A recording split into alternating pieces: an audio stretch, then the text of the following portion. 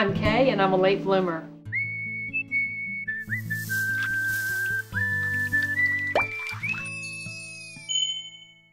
One of the perks of having a garden show is people send me things. They send me live plants and seeds, and sometimes they send me products to try. Today we're going to talk about the Greenstalk vertical garden system and the tomato ring vegetable support. So stay with me. In my recent seven day greens challenge, you could see my green stalk in the background, and a couple of people wrote and asked me about it. Well, green stalk is a vertical, stackable garden system that's easy to use and it has an internal drip watering system, which is pretty genius. And because I have such a small garden, I was eager to give it a try. It's also made in the United States, which I'm pretty excited about.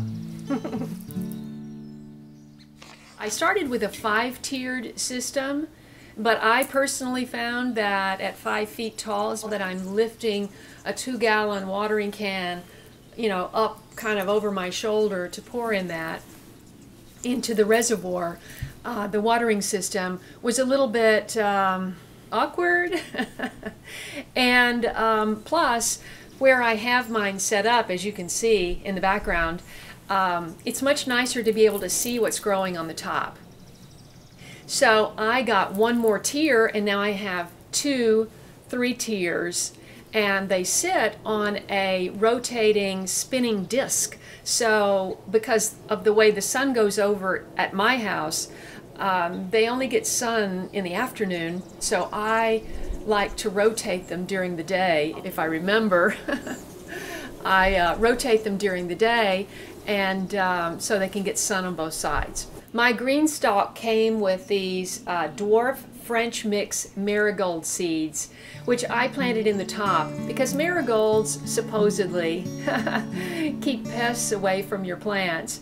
And I planted the whole tops in marigolds. When I got the green stalk, it was time for cool season vegetables. So I decided to give it the real test and just planted seeds. I planted seeds all around, cool season, uh, dwarf kale, lacinato kale, um, some short carrots, Parisienne and Nantes carrots, and of course beets and radishes. Now the radishes finished a long time ago and we ate those. The beauty of radishes is they tell you when they're ready. they just grow, push right out of the ground and say, hey, look at me. This is an heirloom, French breakfast. This is one of the more spectacular ones.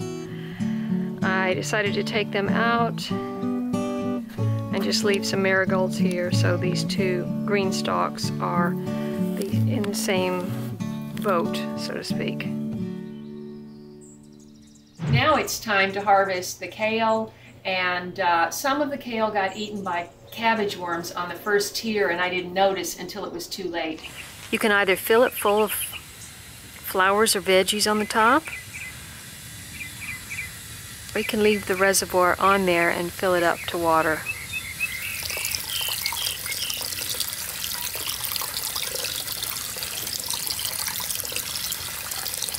And it will drain through these little holes here into each section corresponding underneath. And also this hole will go into each layer has its own reservoir. And that's the internal drip system.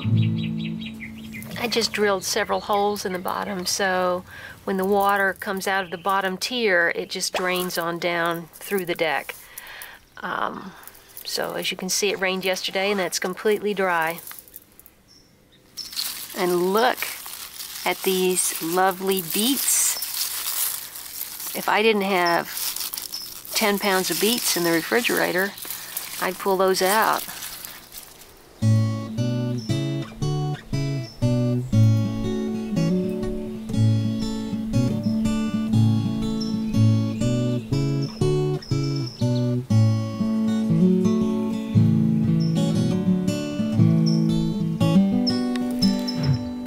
Always coming up with ways to make gardening easier.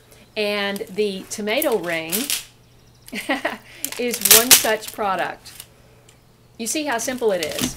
It's just a wire and you can accommodate up to a 2 by 2 inch stake, wooden stake or a metal stake through here and you raise them up as the plant grows and the limbs, the branches, just lay on this. But I will say that you do have to prune the suckers because if you don't, it can become top heavy and that's what happened to me last year. I won't be making that mistake this year.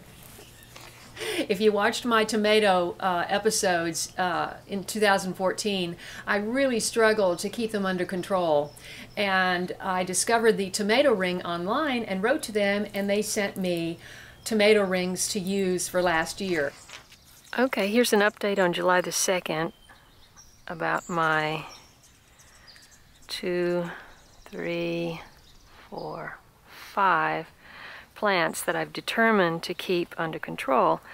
And using the tomato rings and removing the suckers. Got tomatoes on all the plants.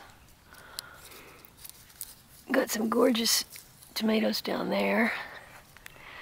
And just thought, in case you don't know what a sucker is, this is a sucker, and it came out of right here.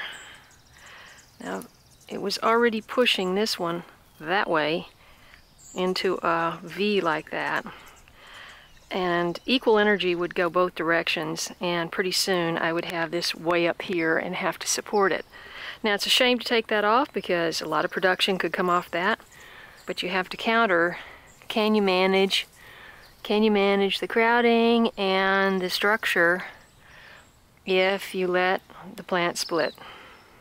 By mid-August, I'd spent so much time battling powdery mildew things had gotten out of control with the tomatoes. Most of the lower leaves on the plants had been removed, but the top vines spread out. Obviously, I did not take off all the suckers in the plateau. Oops.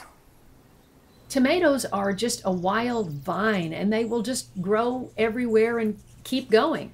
But if you keep them under control and keep the main stem, all the suckers pruned off of the main stem, you can keep the weight off of all of those vines. And um, the tomato ring, I think, is going to work great this year. So I just got my tomato rings installed yesterday. And this year I'm using a much sturdier one and a half by one and a half inch wooden stake for each tomato. And each tomato will have three rings. You put them on right after you plant your seedlings and you raise them up as the plant grows. So each level of big branches rests on a ring. But you have to prune. Like that needs to come off. and I will report back on the results at the end of the season. So I'm leaving on a two and a half week trip and I have beets in the refrigerator, so I'm going to leave these beets, but I need to harvest this lacinato kale, which looks like it's ready to bolt. and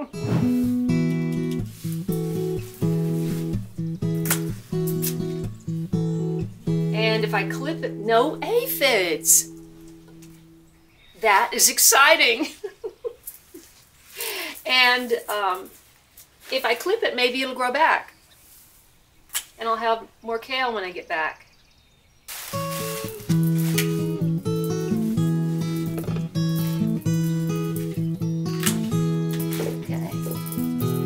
Have a little salad. I whipped up a little salad with kale, shredded coconut, kiwi, and dried mulberries. Salt and pepper, little Meyer lemon, and massaged with olive oil. Let's check it out.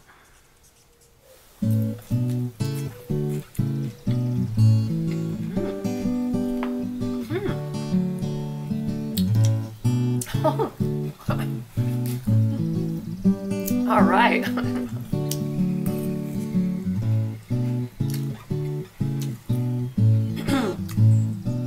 the lemon is a little tart. But what's better than fresh harvested veggies? bon appetit!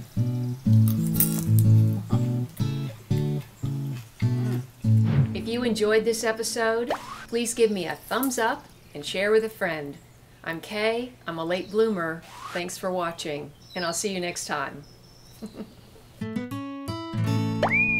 Which you can see over my right shoulder, left shoulder.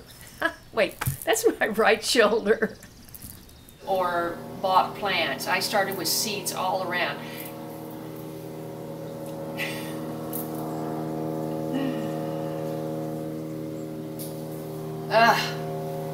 People are always coming up with ways to make. What was I going to say? Oh gosh! Ah! Right. I could just try to talk over it